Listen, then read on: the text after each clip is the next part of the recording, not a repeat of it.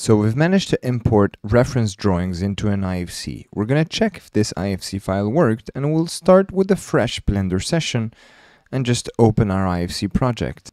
We called it Architecture 001. And there we go. We have the spatial structure we created. So we'd like to start tracing out these drawings with a few walls. Now, we don't have any wall types and we don't know what wall types we need to create. So I'll first start by creating a drawing view.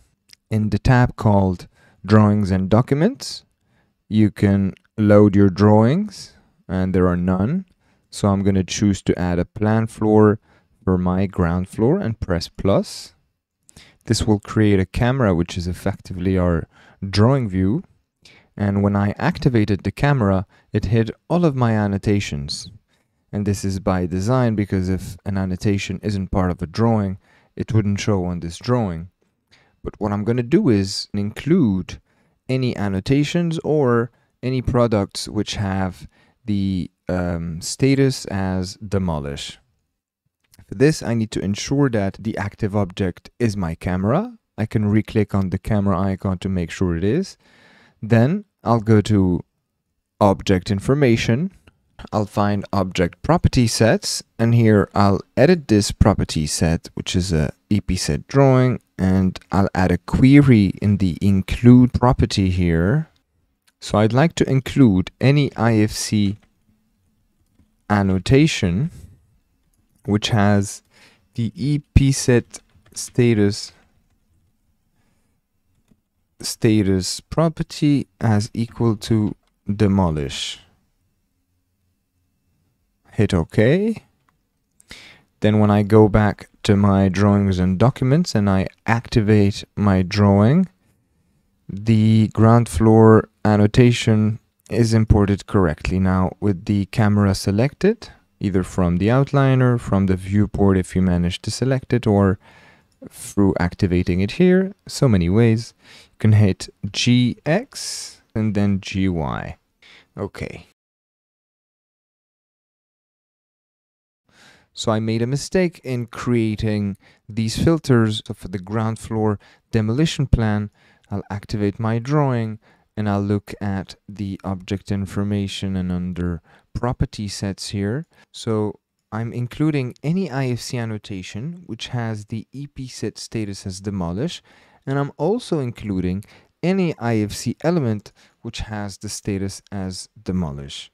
Now this works okay then for my construction drawing, I need to include any IFC annotation with the status as new, and I'll also include all IFC elements. Then I'm going to exclude any IFC element which has the status demolish. Now, first floor plan.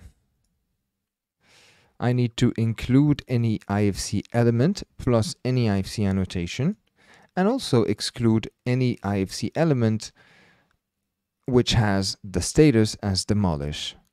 Now this view has also something I changed which is the clip end of the camera and this property will move in the drawings and documents most probably such that you can edit your view extents but for now we'll look at this so I know that my cut is at 1.5 meters and I want to look at a depth of 1.6 meters. If I were to make this bigger, I can see more objects. So I'll keep it as 1.6. Then I hit on activate drawing and we can see everything nice and smoothly. So I'm going to activate my measure tool and measure out some of these walls. So I have a lot of snaps enabled. I'm going to keep only my vertex and edge. And then I'll measure this. What is this? To delete a measure, I can click on it and press X. X. So, okay, so far I need three types of walls, maybe more if we count this wall here. I'll measure it out as well.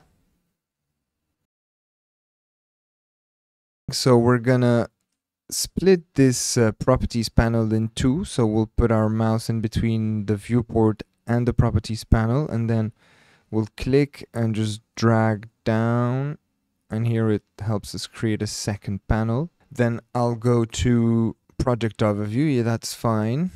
Let's make this smaller. We don't need it that big. I'm going to collapse project info, keep only the geometry. So here what I can do is load some materials. There are none. I can add them manually. Here it created this default material. I can name it C3540 category concrete. Then I'll add a brick material. Brick 70 mil. Category brick. Okay. So I can carry on doing this manually or with a little bonus here, you have a little script. So if you go to scripting and you open the file that you can either download or paste the text by going to new and then pasting your code here. Instead, I'm going to open uh, the little script I've prepared. It's called batch create materials, open text. And I already created the C3540 manually, the brick 70 mil as well. So I just need D3 materials. I'm going to press run script. Now back in my BIM workspace, I can find the materials I created. All right. If we want to create some wall types, let's first activate the wall tool. And then here it says add a, an IFC wall type. We'll just say, okay, let's do that. Then we'll launch the type manager. And it's created this wall type called typex. We'll rename it here to brick 140. We'll first edit this wall type. So we'll press on um, activate the type or select the type. And even though it's hidden, we can still have it as the active object. So all the object information shown here will be for that active object. And here we can go now to um, object geometry and materials, the third tab, and we'll edit the material layer set. It's used this 3540 concrete. Now we'll change the material to brick then we'll edit the thickness to be 0. Point, no, 0 0.07. Save changes. And we'll duplicate this layer and hit save. We're going to press Shift A and constrain it to somewhere. This I'm going to keep only my vertex for now. I'll constrain it to that point, press shift add. It's flipped, so I'm to press shift F and you can find all the hotkeys under the tool here, active tool.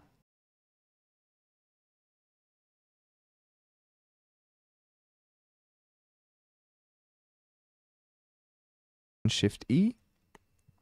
I'll duplicate this wall. Uh, I clicked right such that it doesn't really move it just stays in the same place. Now shift R shift R shift R. There we go. I'll duplicate this wall again GX now this wall is uh, a lot thicker than what it should be. And I think those were our 100 mil walls. Yeah so let's create a 100 mil blockwork wall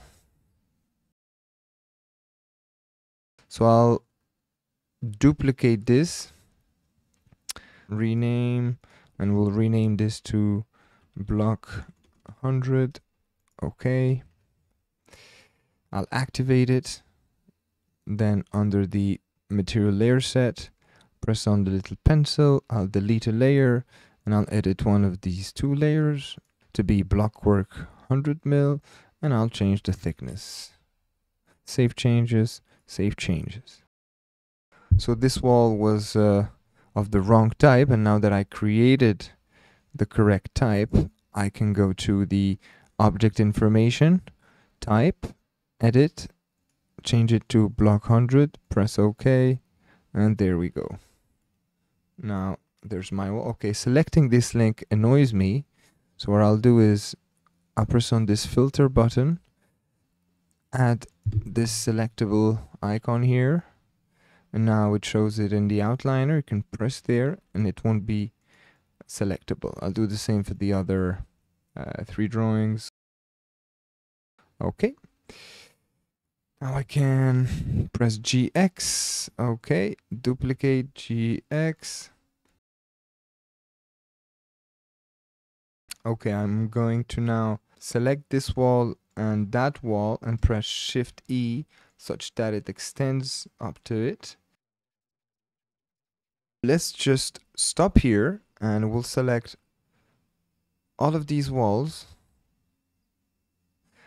and we'll go to object property sets we'll choose pset wall common plus and here we'll press on demolish hit ok and I'm not sure it applied it it didn't apply it on, on my wall so I'm gonna select them again demolish and I'll press on this copy icon hit OK. Maybe it worked, maybe not. It didn't work. So something needs to be fixed. I'm going to have to do it one by one. Or if I wanted, I could have the type have a property set that would be inherited by all these objects. By the time you use this, I hope that uh, this works in a one click. Now, let's create a new drawing so that we can draw the actual construction. So under drawings and document, we'll create a new drawing. Well, let's rename this one to demolition. And we'll create a new one. We'll rename it to construction. We'll activate this view. Okay, so as we can see, these walls which are to be demolished are visible in our construction plan. Therefore, we need to go to the object information here uh, with our drawing as the selected object. We'll scroll down, we'll find EPSET drawing, we'll edit it out. Under include, we need to include any IFC annotation which has the EPSET PSET status dot status equal to new and we need to exclude any IFC product which has the pset uh, underscore dot common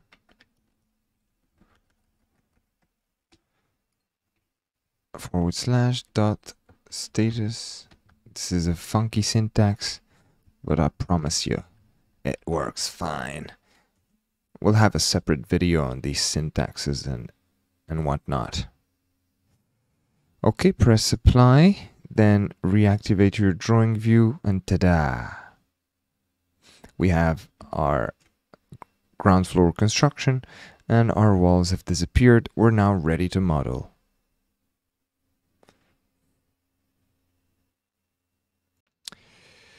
So rather than drawing a single wall, I'm going to have just one brick wall of 70 mil, which I'm going to use to trace out all of this, which is going to help me considerably in scheduling out my my bricks for, for this project. So I'm going to toggle the type manager, duplicate the brick 140, then I'll um, edit name first, brick 70. Then I'll activate the object and under geometry and materials, material layer set, I'll edit the layer set and just delete one, press OK. Now, I'm going to trace out all of these walls. So I'll start somewhere, let's say on this corner here. Shift A. This is too long, so I'm going to change its height to uh, its length to 0 0.5. Refresh, that's good enough. I'll duplicate this GX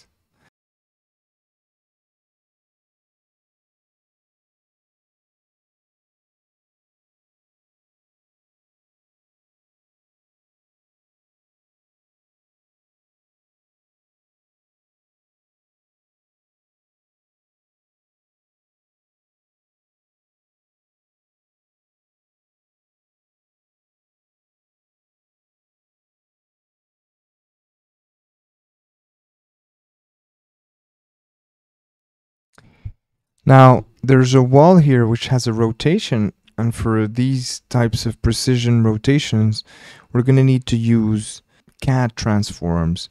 So if you Google CAD transform, you'll find this page here where you can name a fair price or press zero, but I hope you do support Stephen Leger in his development then put your email address, get, and then download the latest version you find. Then you can just add this like any other add-on, preferences, add-ons, install.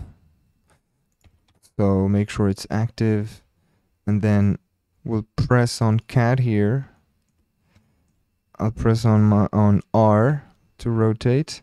Well, first let's make sure I, I'll hide this GY let's deactivate that CAD tool. Go to the wall tool, GY. I'll make sure it starts at the right point, GX, yeah. Now I'd like this to go all the way down here. And if I were to use CAD transforms, press R, first point, second point, and then try and constrain it there, it, it just won't. So instead I have a little trick where I place an object that reaches that exact point.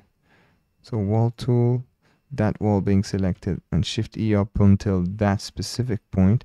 I can now redo my CAD transform operation of rotation. So I'll select the first point, the last point, then I can use that. Okay. So now that I have this rotation, I can take both and hit Shift T.